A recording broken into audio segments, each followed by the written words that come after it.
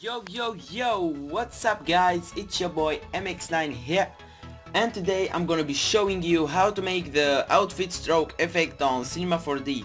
So yeah, uh, after I upload my intro preview on my YouTube channel, a lot of people just asked me about how like I made this this effect. So yeah, uh, let me show you.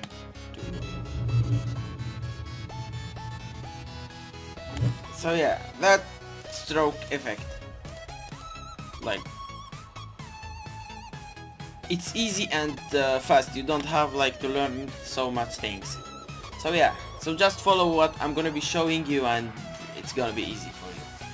So first thing you're gonna need a text, a 3D text. Okay, so you go to MoGraph and MoText.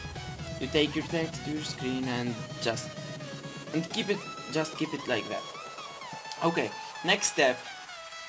This this thing over here, I don't know what's the name. You have to keep clicking so that it shows you the other things. So just choose text. And it's gonna be there over. So just put it on your 3d text. Exactly. Okay. Well it's not exact. Okay. Next thing you need to select this one and this one by pressing control and clicking on both of them. Or you can just select this one and press shift and then press the other one. So then you go change your text to whatever you want and make sure that the both of them are selected. Change your text. I don't know. I'm gonna write mx9 okay. Now you go to change the policy so never mind. The both of them gonna change in the same time because you select both of them. You go to police and change to whatever so we're gonna shoot this one. Okay now you have it maybe just go away from the, text so just adjust again. So yeah. Okay now what you're gonna do is uh, select this one over here. This one.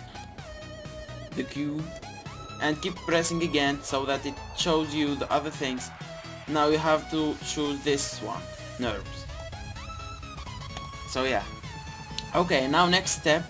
The same place where you just get the text you keep pressing and uh, you have to select the shape that it's gonna make the stroke. So I'm gonna choose the text. You can choose whatever you want from this one. Okay. Now you have to take your text and put it just on the NURBS and you take this circle and you put it on the NURBS, not under the text just on the NURBS.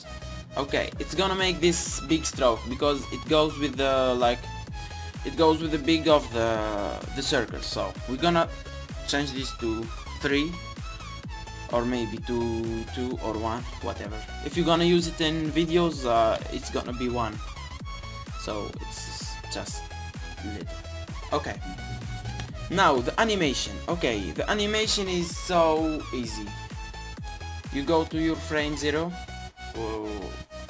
I don't know how big your your animation gonna be so I'm gonna just make a basic one. You go to 0 and you change this one to 0 this one you can find it on object. You select the NURBS and go to object and just change the last one to 0% now you have to press ctrl and click just over here this little place here. Okay so that it's gonna be changed to red or pink or whatever. So now you take your frame. Oh my. Okay. You go to 100 and or what? Okay it's gonna be on the speed that you want. So I want like uh, a medium speed so I'm gonna put 100 and you came just here change it to 100 and and press ctrl and again over there. Okay. Now our text is animated so just we need some colors. Let's make some basic colors like dark and white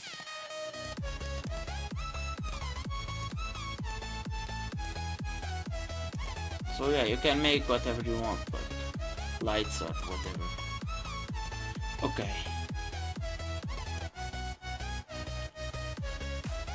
Okay now as you can see if I press this one it's gonna be animated with a stroke. So yeah it's easy and fast just you can use it on many things and it's gonna be so like so fast to do